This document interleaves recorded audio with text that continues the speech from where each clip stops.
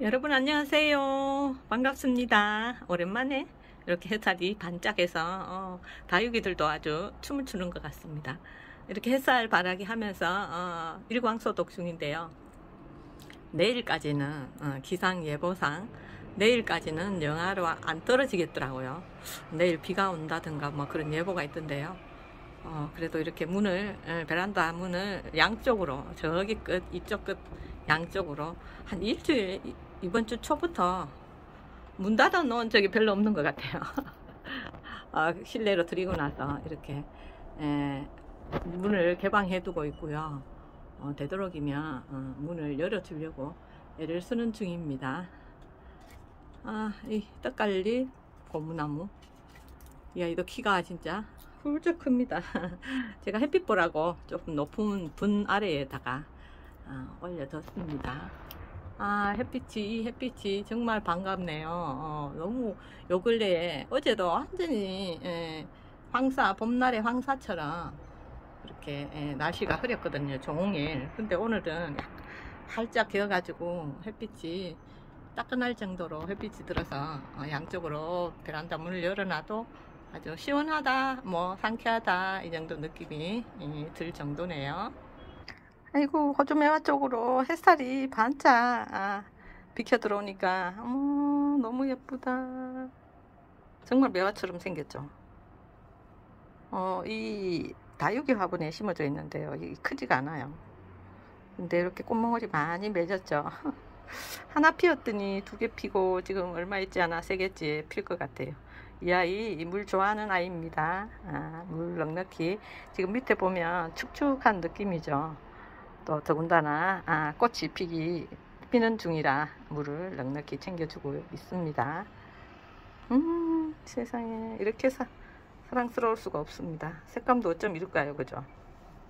어, 일반 우리 매화들보다는 쨍한 느낌 그런 느낌입니다.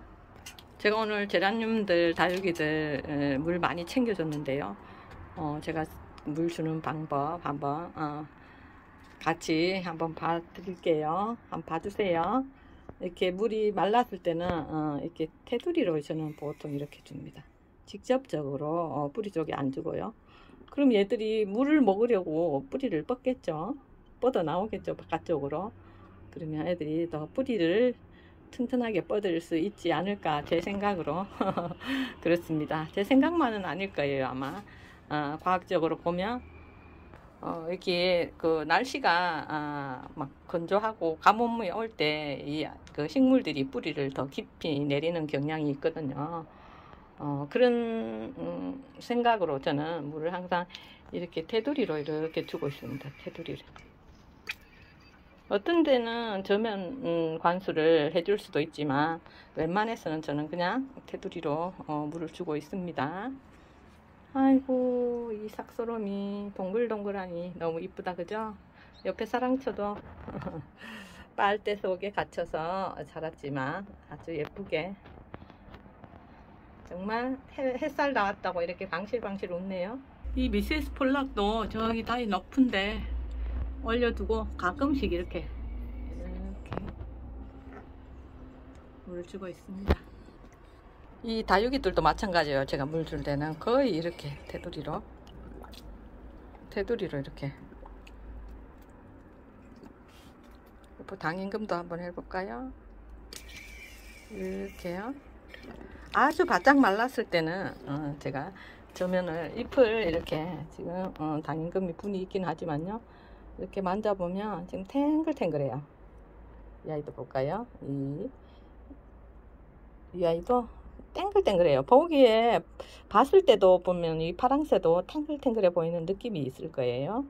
그럴 때는 물을 뭐 거의 안 줘도 되지만 어, 제가 워낙 또 물 주기를 좋아합니다. 이 아이도 정말 탱글탱글합니다.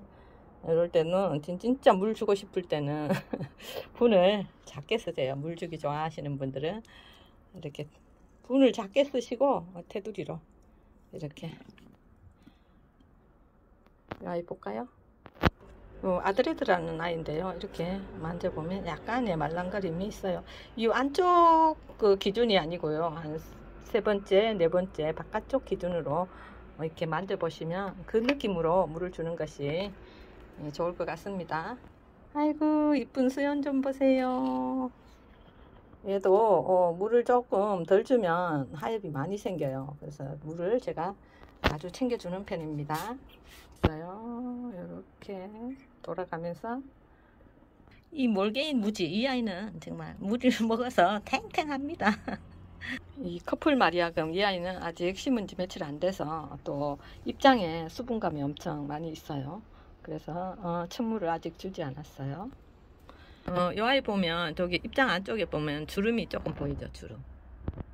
아까 주름 요런 주름이 있다는 것은 이 아이들은 요 방울복랑이나 요 아이들이 요런 주름이 보일 때는 물이 부족하다는 소리예요. 그러면 어, 물 주셔야 된다는 뜻입니다.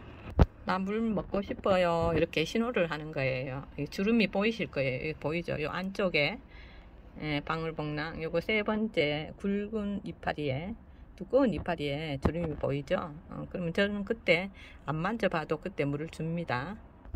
요 축 좀 볼까요? 이 아이는 몸에 주름이 안 보이죠? 보이지 않죠? 물이 먹고 싶을 때는 자기 몸에 물을 어, 자기들이 필요할 때 꺼내서 쓰기 때문에 예, 주름이 생긴답니다. 그때 물 주시면 아주 정확한, 정확한 때인 것 같습니다. 음, 홍조 예쁩니다. 너무 예쁘죠? 제이드 스타 금도 인물 나오고요. 슈퍼오션 정말 색감 곱습니다. 요 원종 방울, 원종 복랑금도 제가 커팅해서 키우고 있는데 요즘 아, 자구도 많이 내고 어, 예뻐지고 있습니다. 이 목마가렛 또 꽃을 이렇게 많이 달고 있어 가지고 제가 물에 신경을 많이 쓰고 있는데요. 제가 한번 볼까요? 중앙 부분이 조금 뽀얗죠. 바깥 부분 진한 색이죠. 제가 아, 바깥 테두리로 가장자리로 물을 줬다는 뜻이겠죠. 물이 축축하면 그만큼 상토가 색깔이 진해 보이잖아요. 요 가장자리 뿌리 부분에는 약간 뽀얗고 어, 색감이 그죠 연한 색감이죠. 그리고 얘가 여기 보세요. 이렇게 줄기 줄기예요. 옆에 동글동글 돌처럼 보이는 어, 저 아이가 아, 목마가래 줄기입니다. 여름을 힘들게 보냈지만 이렇게 줄기를 뿌리를 튼실하게 예, 내리고 있다는 뜻입니다. 무엇보다도 얘들이 뿌리가 튼실해야지만 음, 건강하게 여름을 견딜 수 있고요. 또 여름을 견뎌야지만 아, 피, 그 이렇게 또 꽃 피워줄 때에 꽃을 볼 수 있겠죠. 어쨌거나 미우나 고우나 아, 살려 살아 있어야지만 꽃도 피우고 어, 할 수 있으니까요. 어, 우선 빨리 빨리 성장하지 않는다고 해도 어, 그냥 건강하게 에, 진짜 여름 날 수 있고 어, 살아남을 수 있도록 해주는 게 최고인 것 같습니다. 아, 제라늄도 마찬가지고 저는 그런 마음으로 꽃을 키우고 있답니다. 이렇게 예, 꽃 키우는 행복한 마음 여러분들과 함께 하면서 오늘도 어, 여기서 영상 마치도록 하겠습니다. 감사합니다. 아, 건강 잘 챙기세요. 고맙습니다.